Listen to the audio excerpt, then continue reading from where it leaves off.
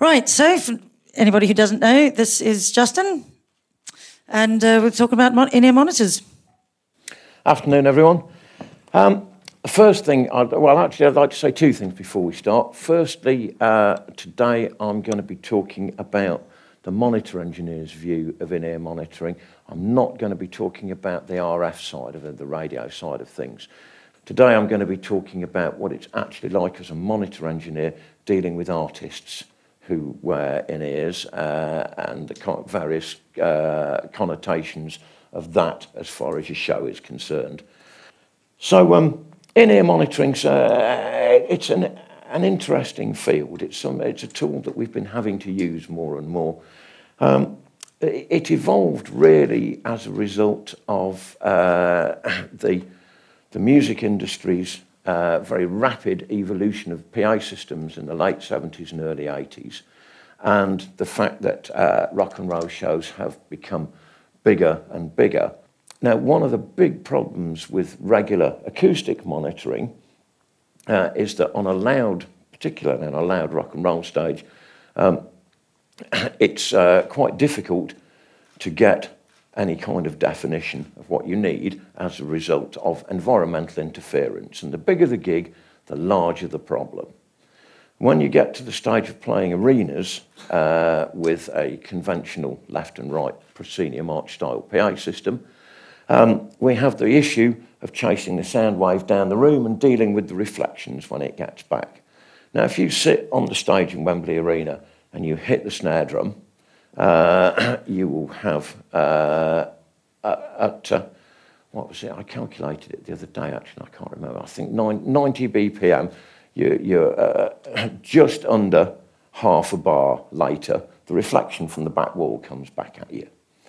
This means it can be extremely difficult just to keep time.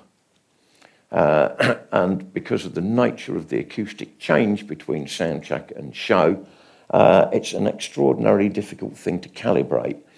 So, musicians, the larger the format the show, the more difficult it is to play uh, using uh, acoustic uh, technology, that is, uh, free air acoustic technology, wedges uh, and side fills, if you are using a large conventional PA system.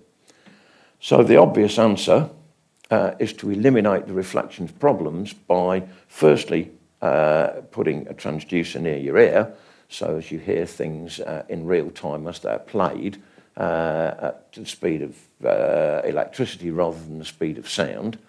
And the second thing is, of course, that the, the in-ear offers a barrier. it's actually an ear plug, an exclusion device, as well as an aid to monitoring.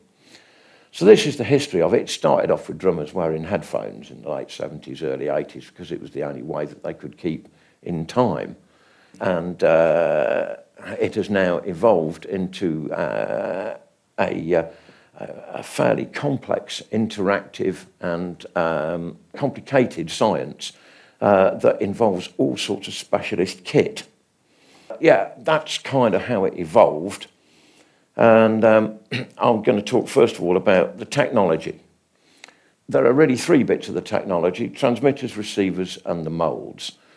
Uh, the, the earpieces themselves, uh, initially, uh, the, uh, the in ear thing was an extension of studio monitoring, which is uh, headset based almost entirely. It's almost impossible to use uh, free air acoustic monitors in recording studios because of the spill. So the headphone, the use of headphones in performance evolved from the studio uh, environment uh, and uh, bit by bit encroached its way into the live environment.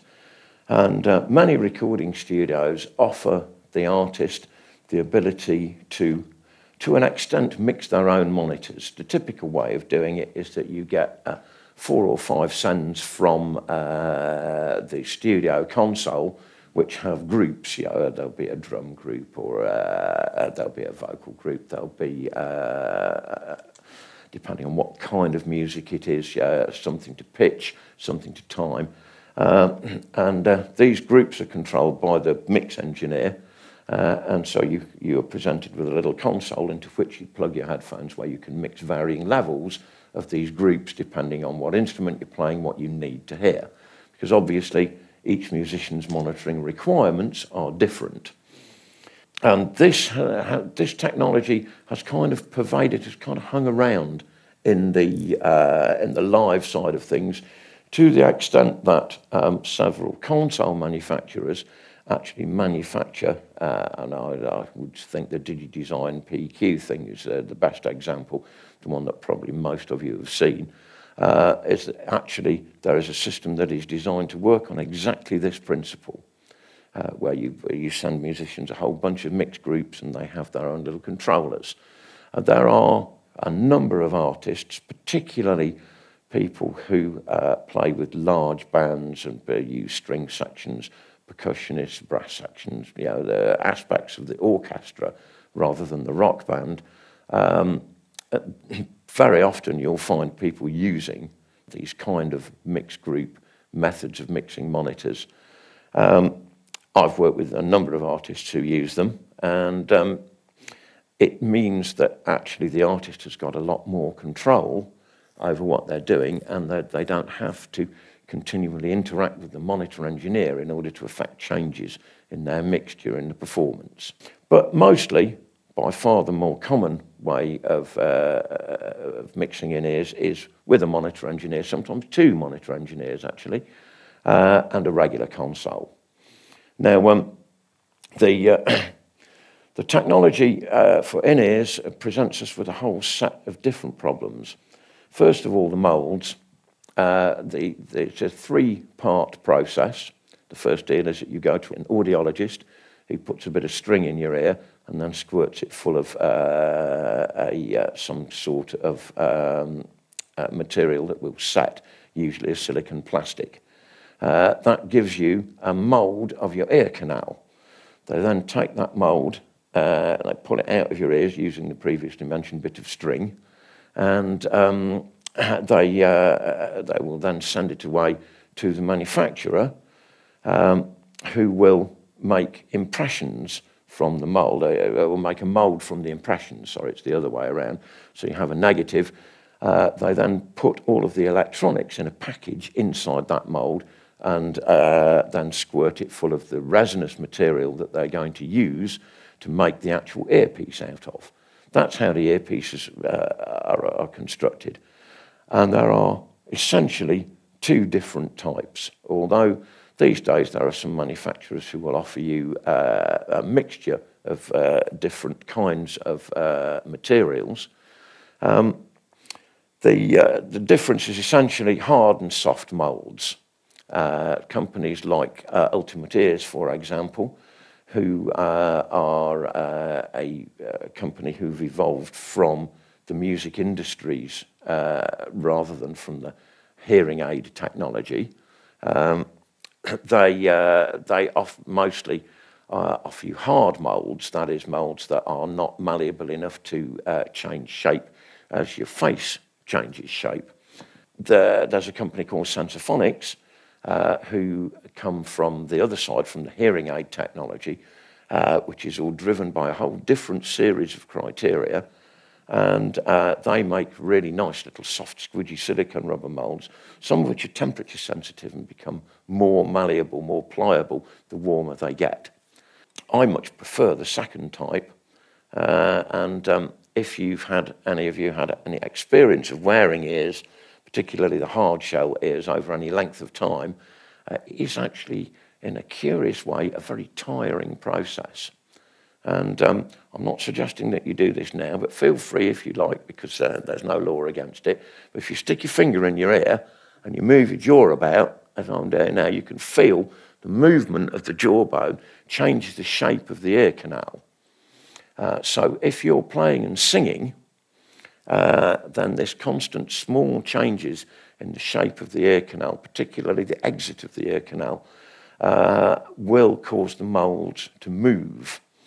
So there's all sorts of goo that people recommend that they uh, ba barrier creams, Uh, there are little bits of sticky tape that are specially made that you stick around the mould every time you put it in your ear. Because the whole deal about in-ears is that what you want to achieve is a hermetical seal between you and the outside world uh, to minimise the audio interference that comes from your environment, uh, therefore giving you much greater control. Now, um, this can be a difficult thing to do, of course. So that's the moulds, uh, as I say, essentially two types, hard and soft. The advantages of the hard ones is that you can put sockets on them, uh, so as you can replace the cable, which you can't with the soft ones. Uh, if you have a cable fault with the soft molds, you have to throw them away and buy another set. And at four or five hundred pounds a time, uh, this can be uh, uh, fairly expensive. Um, so um, that's the deal. When you go to have your fitting, uh, I mean, you can actually have impressions made in Specsavers uh, for 30 quid or something. It's, uh, uh, it's not a particularly complicated process. But my advice to you, if you are going for yourself or uh, a band or an artist, is to go to a proper audiologist. I would recommend the company I use is Handheld Audio. Uh, because they will actually give you a hearing test as well. Um, you'd be surprised at the results of people's hearing tests. I constantly am. Uh, one of the interesting things about it is that very often um, it's something that's extremely difficult to measure. And we come across this at all levels of use of in-ears. It's actually really hard to know what's going on in somebody else's head. And to be honest, as far as dealing with musicians is concerned, it's knowledge that I don't really want to have. Um, nevertheless, you have to deal with it acoustically. Uh, now, people's perceptions are different. Uh, very often, the hearing response left for right uh, is substantially different, and actually, it needs to be uh, because part of the human physiology uh, is uh, that we do most of our balance and orientation with our ears, not with our eyes as anybody who will know who's ever had a severe ear infection, can make you fall over uh, because it really does actually affect your balance, your ability to walk.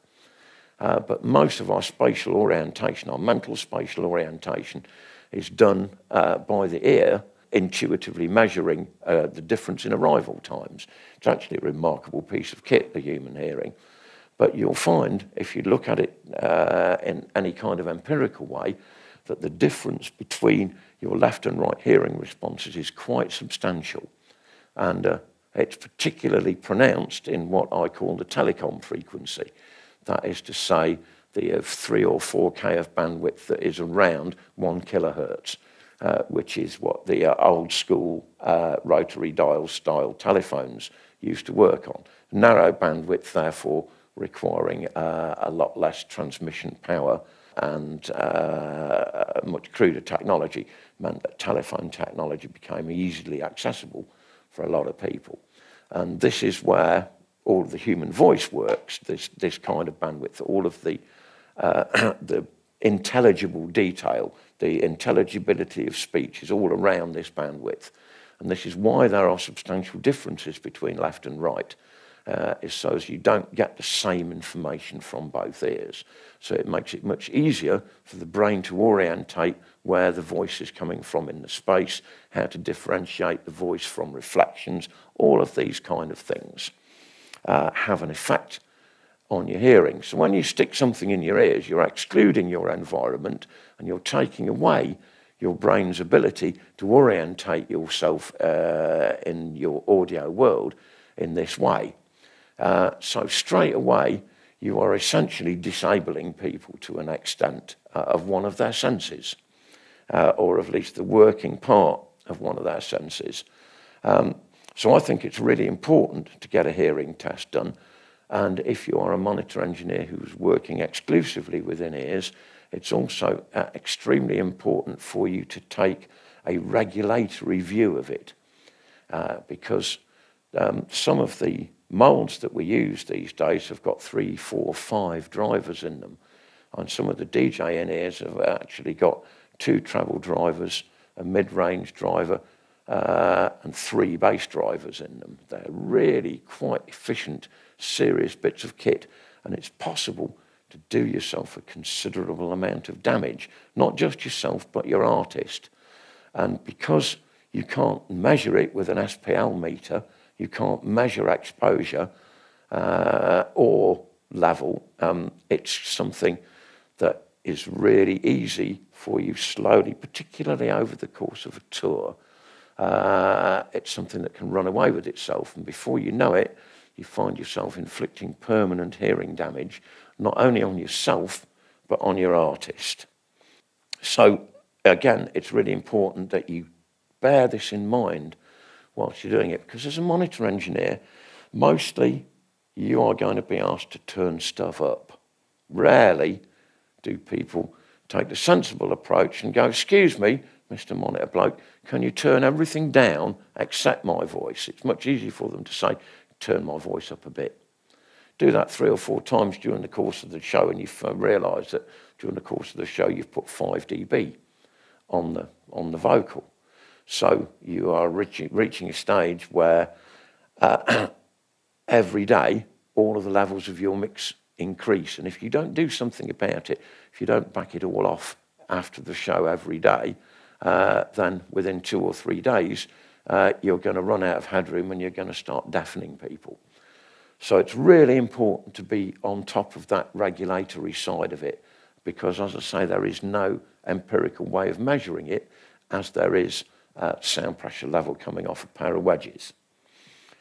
Um, there are also some other things that uh, I consider to be really important as far as servicing an artist is concerned uh, within ears.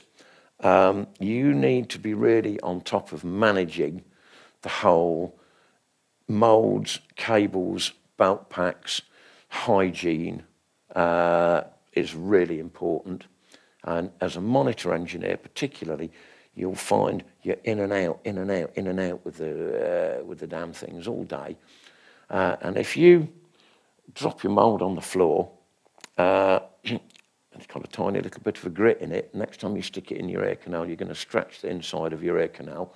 Uh, and because of the repeated in and out, it's likely that you're going to get an infection, which makes it impossible to wear them uh, for the subsequent fortnight or three weeks. I had this happen to me.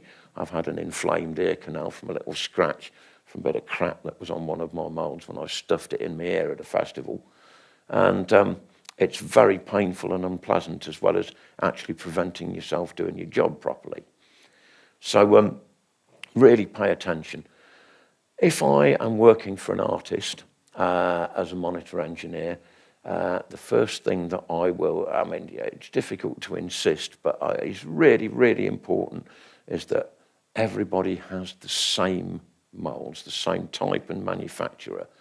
Because if you're dealing with a bunch of artists who've all bought their own, and some of them have bought, you know, the, the cheapest they possibly can, other people might have spent a bit of money and got something that's seriously nice, um, you, uh, you will never be able to deliver consistent results because the frequency response uh, and the, the, general sound of all of the different types of molds, even within one manufacturer, even within, for example, the Ultimate Ears, who manufacture specifically for uh, the music industry, they all sound different. So you need to be able to calibrate your, your, art, your stage right from the start by knowing that what you're hearing is what they're hearing. And this means everybody's got to have the same.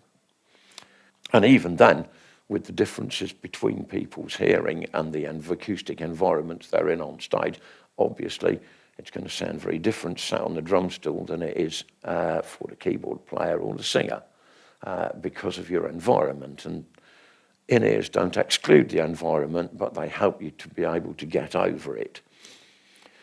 So, first of all, make sure that everybody has the same moulds. Secondly, make sure that you really look after them properly. My deal as a monitor guy is I keep everybody's moulds, uh, and every day I get them out uh, before sound check, uh, and I'll alcohol swab and clean each one individually. Um, I usually carry a, a hot air gun or a hair dryer uh, because that is the best way of getting rid of the earwax that builds. I'll tell you, it's a glamorous job.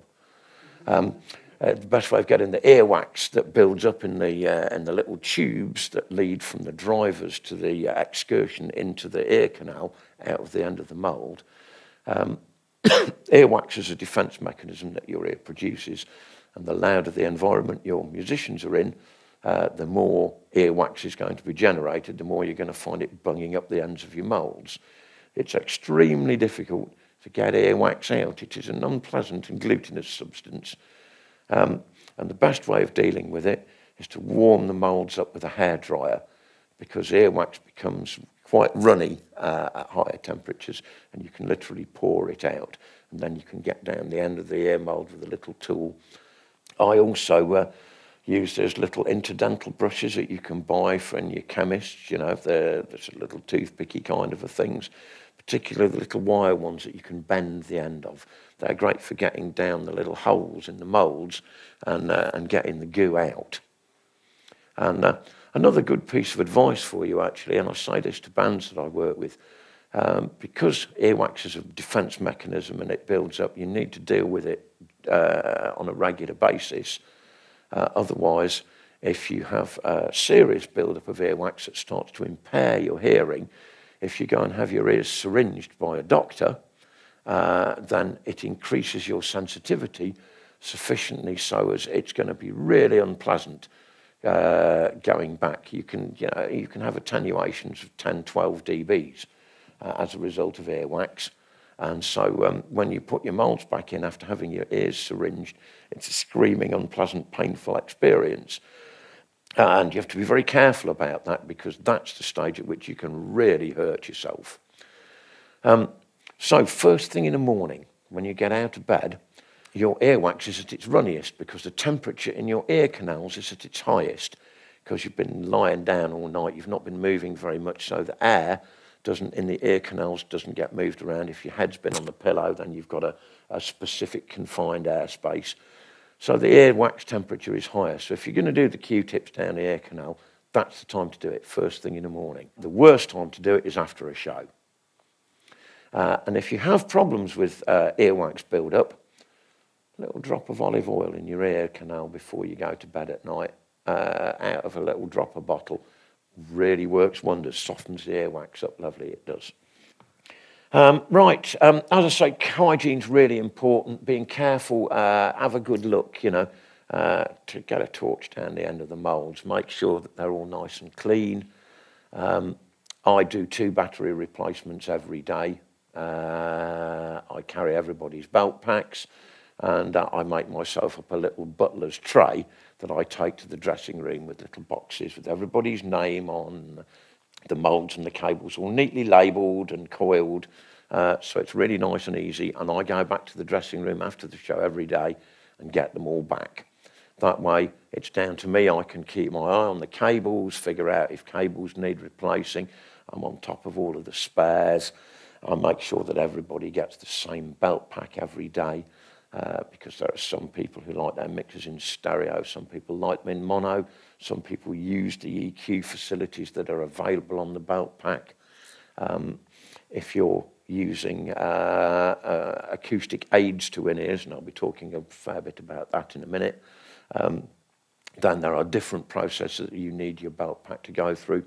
Some people have wired belt packs as opposed to radio belt packs, and this leads me on to the next thing, which is the frequency response of the systems. Um, there are three things that you need to think about. First of all, the frequency response of the transmission device. Secondly, the constraints placed upon uh, frequency reproduction by changing it into radio waves and then back again. Uh, and then at the other end, you've got a little belt pack, um, the size of this kind of thing, uh, which has got a battery in it. Uh, now, this obviously is the amplifier that drives your in-ears. It's by nature, by definition, a small, low-powered amplifier, or a small amplifier with low power requirement, shall we say. That doesn't mean to say that the drivers are not efficient and can't produce quite a lot of sound pressure level. In that way, they are very powerful tools. But the amplifiers that we use are relatively low power, and can very often be frequency discriminating. So uh, it's important, again, to use the same kit for everybody uh, so as you at least know uh, about the results that you're getting, that all the belt packs sound the same. Batteries. as I say, I change batteries every day, twice, once for sound check, once for show, uh, because uh, I need to be able to put my hand on my heart every day if we do have a battery failure. And as far as regular chemical batteries are concerned, Duracells, uh, you will have two in every hundred fail within uh, minutes of, uh, of plugging them in, and you never know. So you need to be able to put your hand on your heart and go, yes, sir, I changed every battery before the show.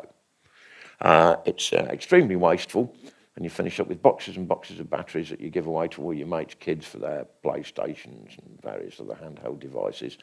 Um, but uh, yeah, it's really important that you do it. And um, myself and a colleague learned a most unfortunate lesson a while ago uh, uh, when we were doing it. He was babysitting me on an in-ears tour. I think we had seven artists to deal with. And um, so uh, the production came to us and said, look, we, we're really not down with you using all of these batteries because they'd seen the requirements, you know, how many batteries we need per show. And it's actually quite a lot. Yeah, if you're talking about seven musicians and seven techs, you know, you're talking about 18, 20 belt packs uh, with spares. So that's, uh, that's 80 batteries a day. Uh, if you change twice for, for sound check and for show, it's quite a lot of batteries. So if you're doing 100 shows, that's a flight case full. Uh, and so the production said, we're really not down with this. Uh, so, um, guys, will you go out and buy a bunch of, uh, of rechargeable batteries? We went, yeah, that's a great idea. Good thinking. So we went out and we bought 200 rechargeable batteries and a couple of industrial chargers. Now, I don't know if any of you know anything about battery technology, but um, uh, NiCad, uh, that's nickel cadmium or nickel metal hydride batteries, have a specific life. Uh, most NiCads are generally uh, good for about 100 charges, something of that nature. After that, the imprinting of the battery, that is its memory, its ability to take the full charge, start dropping off rapidly. Now, with regular chemical batteries, when they fail, they fail slowly. With rechargeables, they just stop. And so imagine our predicament when after we some of these batteries may have had 80 or 100 charges and several of them started failing out of our stock of 200 and we realized that we didn't know how many times we'd charged them. Because unless you barcode every individual battery and keep a record of how many times you've charged it even that, you know, the, uh, the retailer's shelf rotation of putting the new ones at the back and the old ones to the front is only approximate. So suddenly, after you've done 80 shows, your entire battery stock is unreliable. And it's unreliable in a way that your artist is not used to, that the pack just goes off. It doesn't slowly fade and die, doesn't give you notice and warning that the artist can do something about it. It's just that moment of blind panic in the middle of the show. I can't hear myself anymore. Um, so, um, big problem. Uh, and you really do, if you're going to use the, go down the rechargeable battery route, you need to have a regime. Uh, otherwise, it's a false economy uh, and it's going to come back and bite you in the bum big time. So um, I'm afraid it's back to the old chemical Duracells mostly. Uh, sad, but uh, yeah, as far as I'm concerned, uh, unless I'm in a position where we can do the investment in the kit in the first place, and uh, you know, it's pretty much a full-time job, staying on top of the frequency management and the belt pack management, um, let alone actually doing any monitor engineering. The other thing is, of course, that different people's, as far as the battery concern, uh, power consumption is concerned, different people's like to um, uh, monitor at different levels, uh, and particularly if they're using supplementary devices like wedges or shaking risers or butt kickers, uh, and I'll talk about that in a minute, as I say, uh, their power requirements from the belt pack itself are different every show. So some musicians will consume only half of the battery power that others do. Uh, again, difficult to predict uh, and much more difficult to measure. Now, talking about supplementary stuff, uh, there are some people who insist on using in-ears and wedges at the same time. Now, my advice generally is if you're using in-ears and wedges for the same program, then you are in a world of trouble. Because particularly if that's vocal and pitch information, um, you have got uh, all sorts of audio issues, phasing being one of them, particularly uh, the phase relationship between the drivers in the wedges that you're using and the drivers in the ears that you're using are in constant change because you're constantly in motion. And because the low frequency reproduction isn't being done in free air, even a very small move can lead to extreme comb filtering style interference. You also, of course, have arrival time issues, and especially if you're doing festival or arena stages, big stages where your side fills are a significant distance in terms of the time envelope away from your centre wedges, then you need to be delaying the wedges back to the side fills, which means that the arrival time difference between the audio from the side fill, the pressure wave from the side fills arriving at your ear, and the, the, the energy that the driver is producing arriving at the eardrum are quite different. Uh, and in the case of big festival stages, different, en different enough for it to have a masking effect on the program that you're trying to actually listen to. So it can be, it can create many more problems than it solves in terms of the extra reinforcement. Now, there are many musicians who I've worked with who uh, aren't entirely convinced, as I am not, by the whole new set of technology that we have to use digital mixing desks and uh, uh, radio transmission. So, what if somebody kicks the plug out? You know, the old argument. What if the rack stops working? What if one of the aerials stops working? You've lost your entire monitor system. So, there are many of us who like to deploy wedges as well as a backup. Uh, but my deal is I won't switch them on unless I need to unless somebody takes their ears out and throws them on the floor, then I open up the wedge mix. But it does mean that at least every now and again you have to sound check the wedge mix, even if you're using all your own production kit. And certainly if you're doing local production stuff, you need to sound check wedges and in ears every day, uh, which makes the sound check a lot longer and more tedious. Uh, but if you want to have a bulletproof show, got to do it. Uh, because you can't just take an in-ear mix and stick it in the wedges. Uh, they are uh, two very different systems that don't, you know, certainly as far as the mix is concerned, are not interchangeable with each other. So that's the, that's the full range loudspeakers dealt with. However, there are some bits of loudspeaker style technology that massively help uh, as far as uh, frequency response is concerned for your artist. Um, has anybody had any experience of a butt kicker?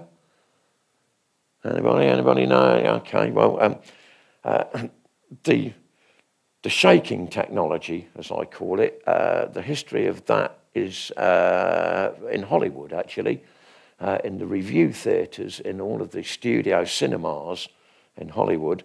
Uh, there was a technology race, particularly in the 50s and 60s, uh, for better and better audio technology, better and better sound systems. And then with the introduction of the Dolby style encoding and then surround systems and all of this, uh, cinema audio was the driving force between our entire audio industry, really up until the late 80s, early 90s. And one of the things that a Californian company called Aura, who were originally a loudspeaker manufacturer, one of the things they came up with was a little uh, 35 watt transducer, uh, which looks like uh, a horn driver. Well, in fact, essentially, it's what it is. It's a little inch and a quarter voice coil device with no loudspeaker. Uh, it makes a membrane vibrate. And the idea is that you take two or three of these devices and you screw them to the, uh, the wooden floor underneath each row of eight cinema seats, uh, and the seats vibrate. And you give them a low frequency program, generally speaking, 70, 60 hertz and below. So it's very narrow bandwidth. You're not asking the driver to do a lot of work, um, and, uh, and it makes the whole thing vibrate. Uh, and these vibrations are transmitted through your body. It's nothing to do with the ear canal. It makes your body cavities oscillate and you feel the bass. You've all felt the kick drum and the bass guitar in your chest at a rock gig. That's exactly what we're trying to do with these little Aura shakers. Um, one of my first proper serious in-ear gigs was the Pop Act, that we had no backline on stage at all. And so I used these Aura shakers to, uh, to build shaking risers. I had four shaking riser decks uh, uh, for the four musicians that were stood on them, a guitarist, bass player, keyboard player, drummer, a percussionist. Um, and um, it worked fabulously well. Uh, I'd got a, uh, I built myself a little system using a BSS SoundWeb, uh, which is a, a, basically a configurable processor.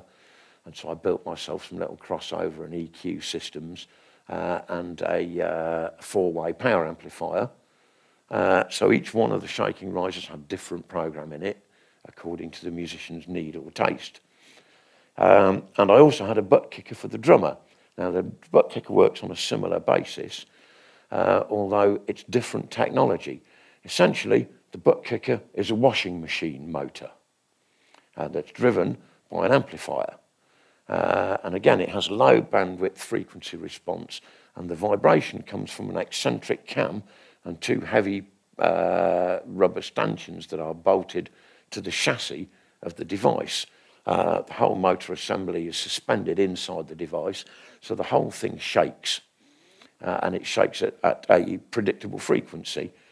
Uh, and you bolt this to the post of the drum stool, uh, and uh, you offer your drummer a service of anally fitting bass, essentially. Um, uh, and uh, it works fabulously well. Uh, I personally think that uh, we could take this technology one step further uh, with uh, wireless suppositories, but let's not go any further down that road. Um, it's an interesting thought, though, isn't it? You know, especially for the rave. Um, so, um, yeah, right. Next thing, um, transmitters. Uh, transmission is difficult, another difficult issue. Uh, like I say, RF technology is extremely complicated and difficult. Uh, and so we're forever having transmission issues. Uh, but really, um, if you're going to be using uh, a serious in-ear system, then it's vitally important for you to get yourself active aerials, aerial combiners, uh, and make sure that you've got bulletproof BNC cables, uh, BNC connectors like the jack plug and the MIDI connector, particularly the five-pin DIN plug, are the work of Satan. Uh, do not belong in our industry. They were never designed uh, as professional audio connectors. Uh, they were designed as cheap solutions uh, to connectivity problems. And, you know, why to this day we're still plugging quarter inch jacks into electric guitars, I really don't know. Uh, when the XLR provides us with a proper, serious, balanced, noise-free, bulletproof connector. Uh, but hey, that's just how it is, really, I guess. Um, so uh, yeah, BNC connectors are horrible. Uh, they really are, as anybody who's ever had to use them to, uh, you know, in an industrial way, uh, will concur, I'm sure. Um, so it's vitally important that you get yourself serious bulletproof versions thereof and bring a lot of spare cable with you. Um, because the, the cables, uh, again, uh, RF cable, which is essentially coaxial cable, uh, unless it's properly shielded and armoured, uh, is much more fragile, much more prone to repetitive strain injury through coiling, through being having the, the, the 90 degree bend at the back of the rack where you plug it into a horizontal panel and it drops vertically. So there's a moment on the cable all the time and it's the same moment all the time. But spend the money, do it as well as you possibly can. Make sure you have backup aerials. Make sure you've got one really long cable and one really short cable so as you can get a big distance between your transmitters uh, so as you don't have hot and cold spots on the stage all of that. Um, now, uh, frequency management, again, as I said uh, at the beginning, I'm not really going to talk about this except for the fact that you need to know a bit about it. Uh, because one of the things that we have to do these days is we have to purchase licenses for transmission. Now, uh, the whole change in the way that the legislation has worked European wide over the last decade has been a nightmare for anybody in the RF game. Just talk to the boys at Handheld Audio who had to write off five million quid's worth of kit uh, because of Brussels changing its mind. Um, it's, a, it's a tale of woe.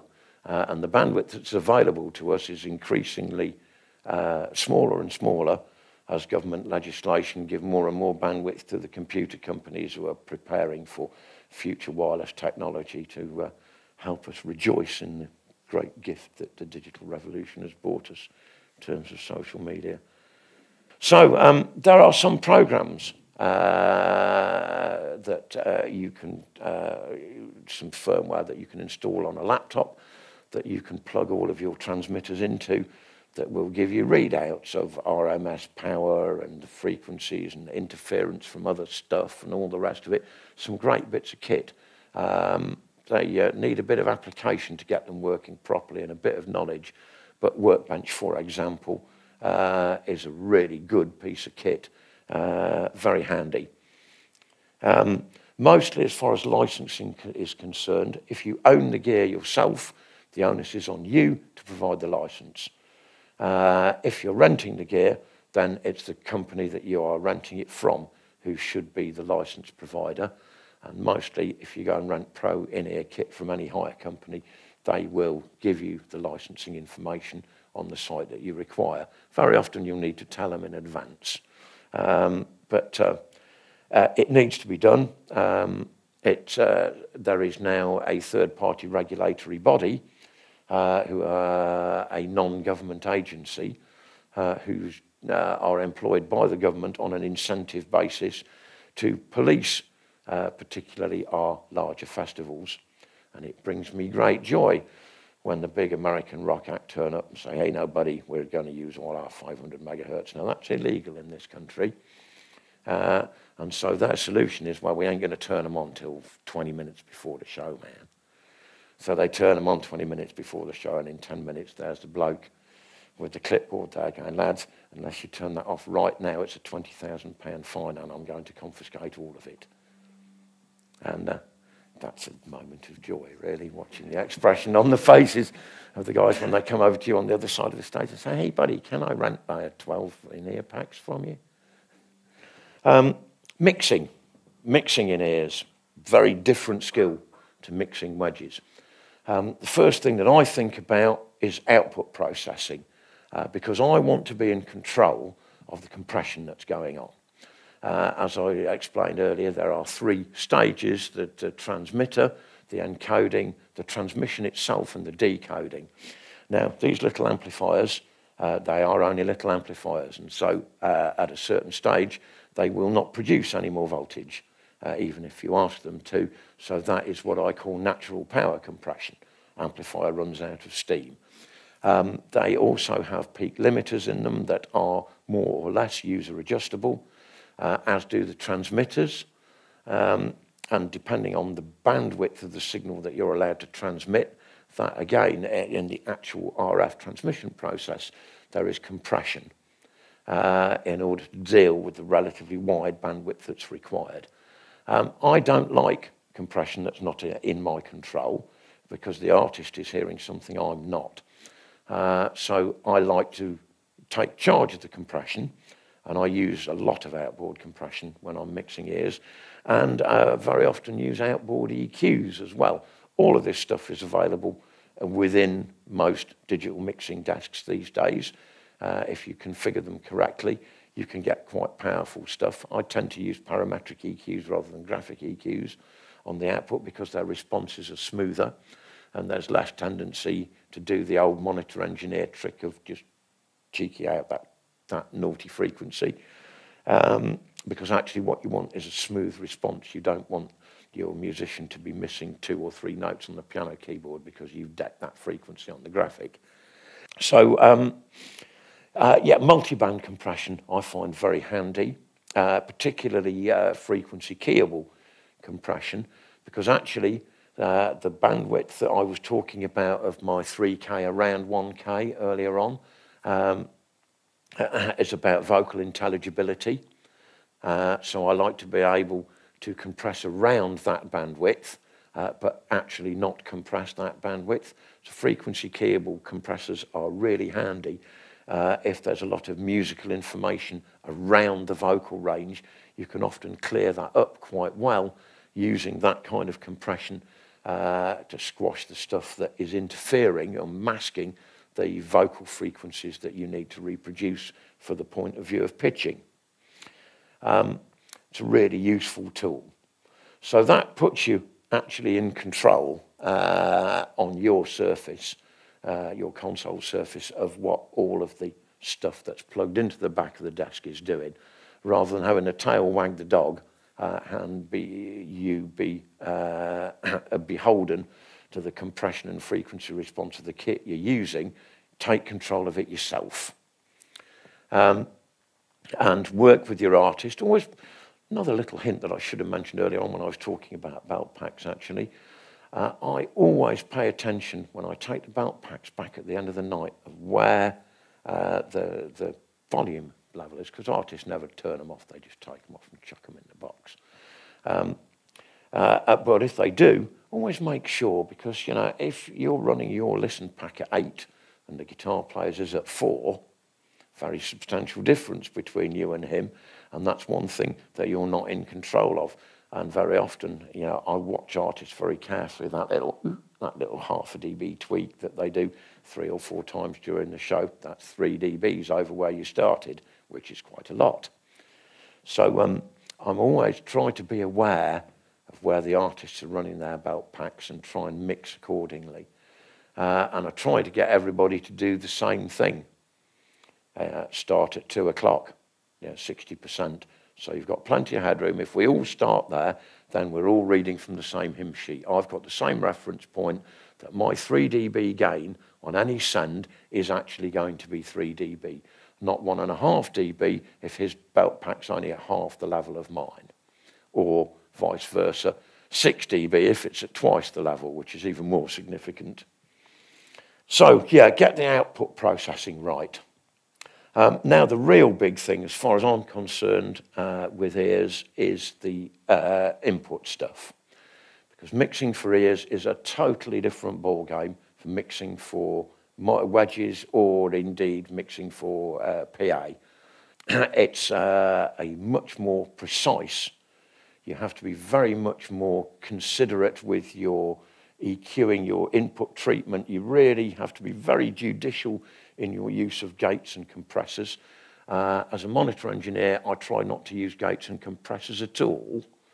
Um, uh, gates on drums, you shouldn't really need to do it, particularly if your band is all ears. If you're uh, getting rid of most of the acoustic sources and your drummer can tune the drum kit, you shouldn't need to use noise gates. And the problem with using compressors as channel inserts live is that unless there is the magical and mythical button that should be on every monitor desk and is on only one that I've ever encountered. Actually, two now, because you can do it. Uh, you used to be able to do it on an old American mixer called a Harrison. Um, uh, but uh, you can, uh, there's now one digital board in the marketplace that will allow you to do this. And that is the pre-post insert button on every send. So for example, if you have a keyboard player, you can compress the keyboard player to all the musicians on the stage except himself. So his playing isn't affected by hearing the compression. Because if you're playing over compression, you tend to overplay, you play harder. So the stuff that it was already a nuisance to everybody else in the first place, particularly I talk about keyboard players because of the difference between middle C and a big handful of left. Do you know what I mean? It's, it's six or seven times louder.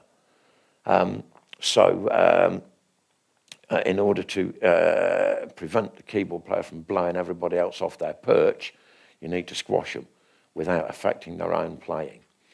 Um, so I, unless uh, I'm have that facility available, your choice is you Y split your channels, so you have one compressed set and an uncompressed set, um, or don't do it. I tend to try and avoid it wherever I possibly can, really. Um, again, EQing, EQ judiciously you know, make sure that the frequency response of your uh, uh, your drum kit mics, for example, is exactly what it, you want it to be. Uh, you know, you, judicious use of high and low pass filters for hi-hats and overheads, um, because all of the bumps that you get from the riser and down the cymbal stands and all of the rest of it, whilst they're not particularly audible through wedges, they're very audible in ears. So it's uh, it's really important that you uh, that you uh, are really on top of that. The other last thing, and by really the most important thing I'd like to talk about, is ambient miking. Um, because you are dealing with a bunch of people who are shut out from the world, uh, it's very easy uh, for them to regard putting the ears in as a sort of punishment, uh, you know, as a restrictive thing. Uh, but if you get your ambient miking right, uh, then it can work really well. Uh, I'll just give you one little example before I finish. Uh, again, the pop act I was talking about earlier on. Three sets of ambient mics, a stereo mic on the stage in front of the drum kit, uh, a pair of shotguns pointing at the fans downstairs, down in the front row, uh, and uh, a pair of 414s at front house. And I'd got compressors with varying different rise times. So she, the girl stops singing. Immediately, the stage mic comes up so she can hear the chat of the band on stage. After three seconds, the shotgun mics come so she can hear the kids down the front shouting and screaming. And after 10 seconds, the room comes up. So in between tunes, she can hear the room. As soon as she starts singing, they all squash. Uh, they're there to an extent, but only to a very small extent. And again, you, by using the output thresholds you can and output levels, you can mix the amount of ambience in according to taste. But that kind of ambient miking actually makes them feel that they're in a much more natural environment uh, and uh, makes it much easier for them. One other thing about miking is that there are a lot of people these days use cue microphones. Um, you know, very often monitor, uh, monitor engineers will give techs belt packs, uh, and a microphone so they can talk directly to you, the monitor engineer, and give you cues. Um, there are some bands I've worked with uh, who have got uh, microphones on the stage with little pedals they can push to talk to the monitor guy. Uh, be careful if you do this because you finish up with the band telling each other jokes and uh, slagging each other off to you during the show, all that kind of stuff. Uh, it can become uh, really annoying as I found out to my cost, having done that. Yeah, there it is. Uh, I could, you know, uh, it's a big subject. I could talk for days about it, really, but I'm not going to because um, I've already bored myself. Uh, but yeah, do if you want to further this discussion at any stage, I'll be hanging around here or on the Soulsound stall over the next uh, day and a bit. So thank you so much for coming, and uh, yeah, grab one of us. Grab Justin uh, would be around tomorrow as well.